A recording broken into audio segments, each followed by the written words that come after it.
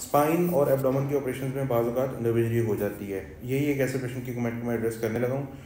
मोना कहती हैं कि मेरे सी सेक्शन के बाद नर्व इंजरी हुई, जिसकी वजह से लोअर लेम्स पैरालाइज हो गई थी मूवमेंट तो शुरू हो गई है, लेकिन यूरन और इस पर पखाने पर कंट्रोल नहीं है।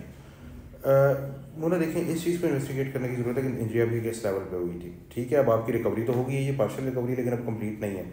इसके लिए हम आपकी इन्वेस्टिगेट करके देखेंगे एम आर आई कराएँगे एक्सरे कराएँगे एन सी एस और ई एम जी कराएँगे, उस पर देखेंगे कि कितनी की इंप्रूवमेंट है। अगर तो उस पर हमें पता चल जाता है कि इंप्रूवमेंट आ रही है तो हम फिर फर्दर ट्रीटमेंट को आगे इस पर कर सकेंगे।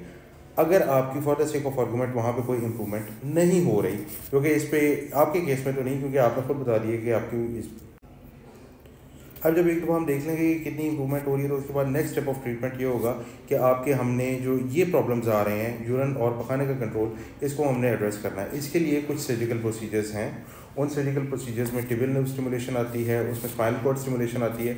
I am train to do those procedures ये फंक्शनल सर्जरी के बहुत एडवांस प्रोसीजर्स होते हैं। तो अगर आप ये कराना चाहें कंसल्ट करना चाहें तो you can always come to my clinic हम इस पर तफसील से इन्वेस्टिगेट करके और डिस्कस करके फिर आगे आपकी ट्रीटमेंट प्लान कर लेंगे।